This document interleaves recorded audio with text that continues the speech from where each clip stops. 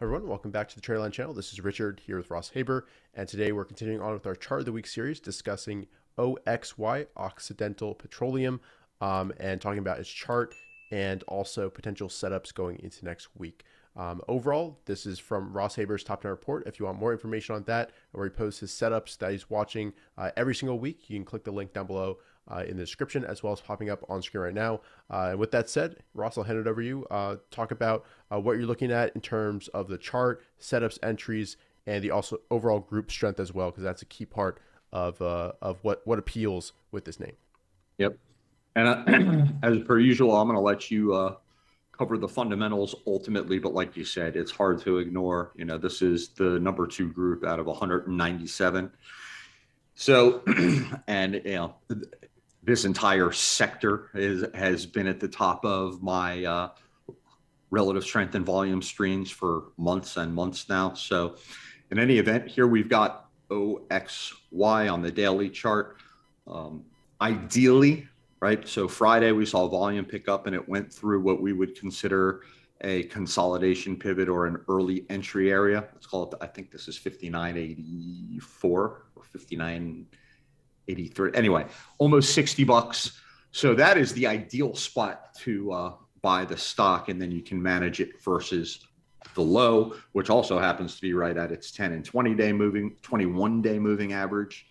Um, we're not seeing it here, but it just so happens the 23 exponential happens to curve up and catch the breaks through the 21 pretty much perfectly. So it gives you um, plenty of logical areas to manage this risk either on a you know closing basis, intraday basis, in pieces, however you want to do it.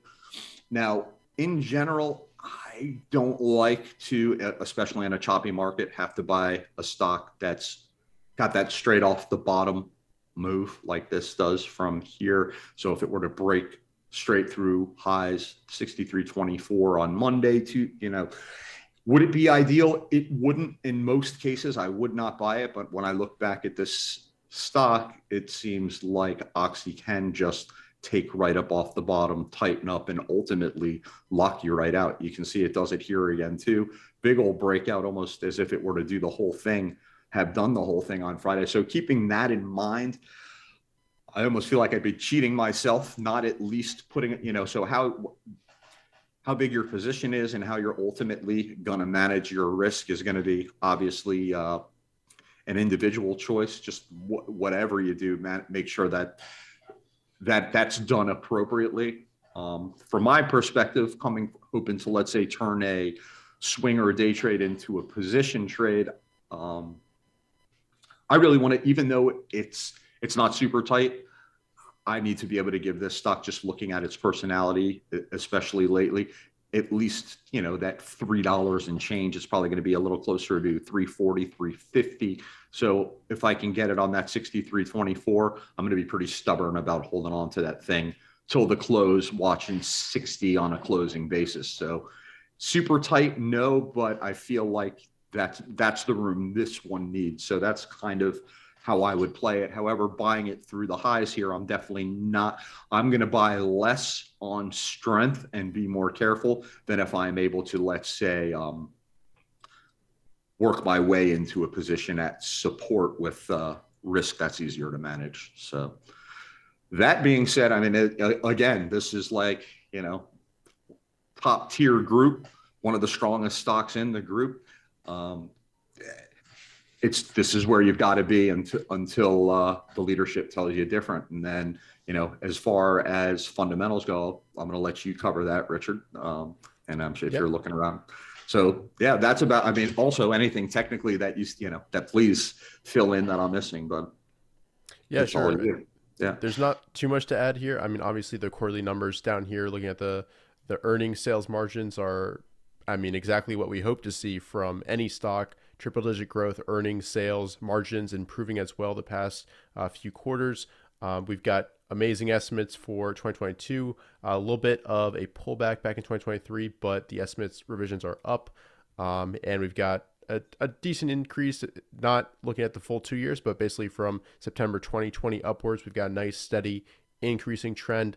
none of the high quality funds in here, but uh, this this isn't really a traditional growth type um, name. So uh, from a fundamental point of view, I think the biggest thing is that this is in a industry group and sector that is the leading industry group and sector right now, pretty much.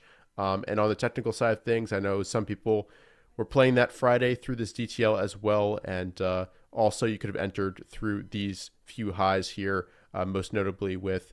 Um, that consolidation pivot that Ross pointed out. So that would have been kind of the ideal entry point.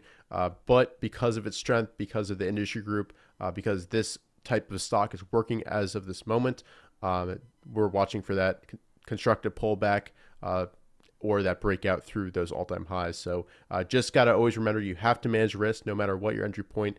And as Ross likes to say, it's got to be tight and logical your stop loss point. Um, and and that's the most important thing. Risk management. That's what keeps you in the name uh, in the game for the long run. So uh, with that, Ross, any any last words to add on on? Yeah, no, you know, I would just say, you know, this is one of those typical cases. So it's not, you know, it's not your typical traditional growth stock. And I would just point out, look at liquid this thing is. Forty two million shares. This thing almost traded on Friday. Um, it just it that makes it so much easier to trade, especially if you're managing a fund or something like that. You can buy five and 10,000 shares at the market like water in this thing. Yep. So that again, so that just, you know, goes to show the, you know, it, it pays to be super flexible when, you know, you're seeing massive group move like we've been seeing, and you can find plenty of stocks that look like traditional growth um, and are sporting these kind of earnings across the board with the sort of liquidity and respect we're seeing at logical support, you owe it to yourself to uh, be in those names until they tell you not to be. So, yep, absolutely. And we've got other another few ideas on the top down report related to this one that look pretty similar. The whole group is kind of shaping up here. Um, so once again, if you're interested in the top down report, check it out down below in the description. Um, and with that, thanks so much for watching. Let us know uh, what you think of this setup and the overall group down below in the comment section. Uh, leave a like if you enjoyed and subscribe if you're new to the channel. And we'll see you guys in future videos. Thanks.